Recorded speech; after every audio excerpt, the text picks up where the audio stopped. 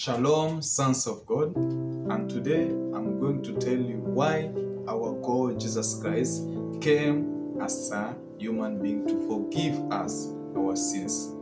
This is the secret. Spirit do not forgive or do not repent.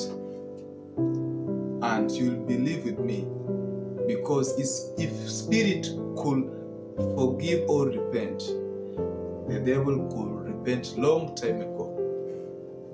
But why the devil could not repent? Because spirit do not forgive or repent.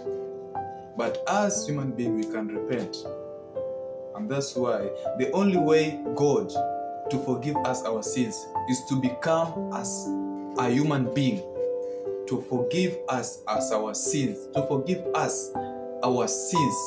That's why our God, Jesus Christ, died on the cross to symbolize death. And he forgive us our sins because of his death on the cross. So, my, my brothers and sisters, this is how God loves us. And God Himself is our Father, and He existed as the Word. Even to now, you cannot separate yourself with your word. What you speak is what you are. So, the Word of God is Jesus Christ, and the Word of God is God. So, Jesus Christ is God. So, Jesus Christ existed and he is God. So he came as a human being to forgive us our sins by dying on the cross.